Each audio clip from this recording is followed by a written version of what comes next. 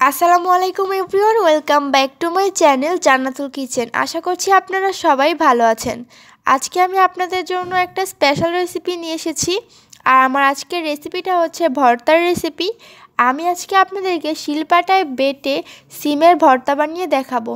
তো চলুন বেশি কথা না বাড়িয়ে রেসিপিটির পুরো প্রসেসিংয়ে শুরু করা যাক। পাটায় বেটে সিমের ভর্তা বানানোর জন্য প্রথমে সিমগুলোকে সেদ্ধ করে নিতে হবে। তো আমি এখানে একটা ফ্রাই প্যানে পর্যাপ্ত পরিমাণে পানি দিয়ে দিয়েছি আর এতে এখন দিয়ে দিচ্ছি সিম।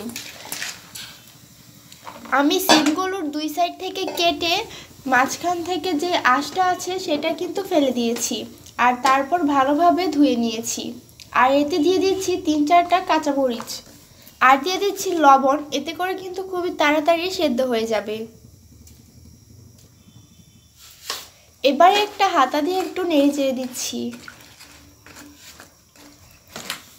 লবণটা কিন্তু গলে গিয়েছে, আর এখন আমি ঢেকে দিচ্ছি কিছুক্ষণের জন্য সিমগুলোকে যাতে ভালোভাবে সেদ্ধ হয়ে যায়।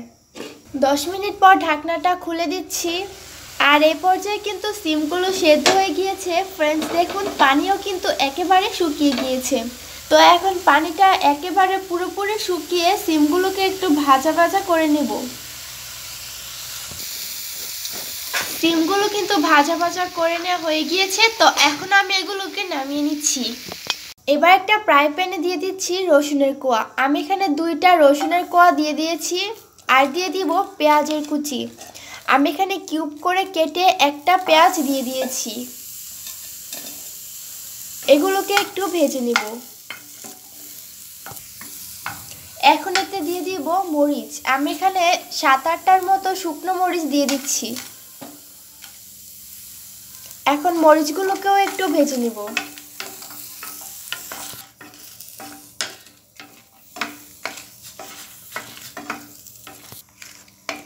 ফ্রেন্ডস পেঁয়াজ আর মরিচ, রসুন, এগুলো কিন্তু ভেজে নেওয়া হয়েই গিয়েছে, তো এখন এগুলোকে আমি নামিয়ে নিচ্ছি।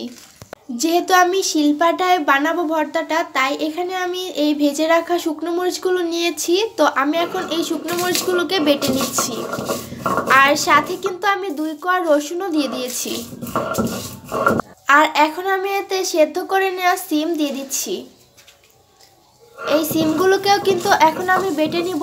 একবারে বেশি সিম দেইনি, অল্প অল্প করে দিয়ে বেটে নিচ্ছি।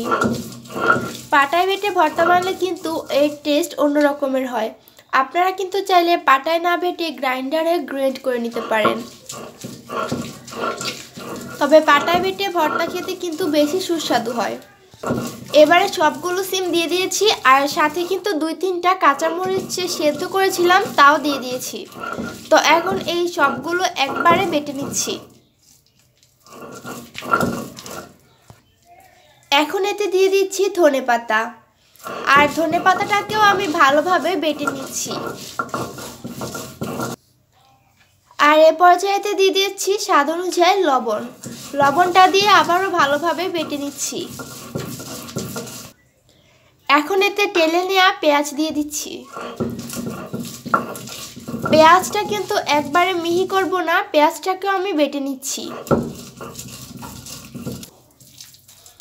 এবারে সবগুলো একবারে ভালোভাবে মিশিয়ে নিচ্ছি আর একবার করে বেটে নিচ্ছি।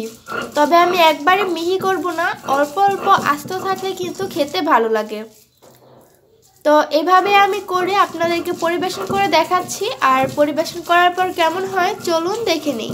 তৈরি হয়ে গেল সিমের ভর্তা, দেখুন কতটা সুন্দর হয়েছে। আর এটা দেখতে যতটাই সুন্দর হয়েছে, খেতে কিন্তু তার দ্বিগুণ টেস্ট। তো আজকে এ পর্যন্তই। সবাই ভালো থাকবেন সুস্থ থাকবেন। আল্লাহ হাফেজ।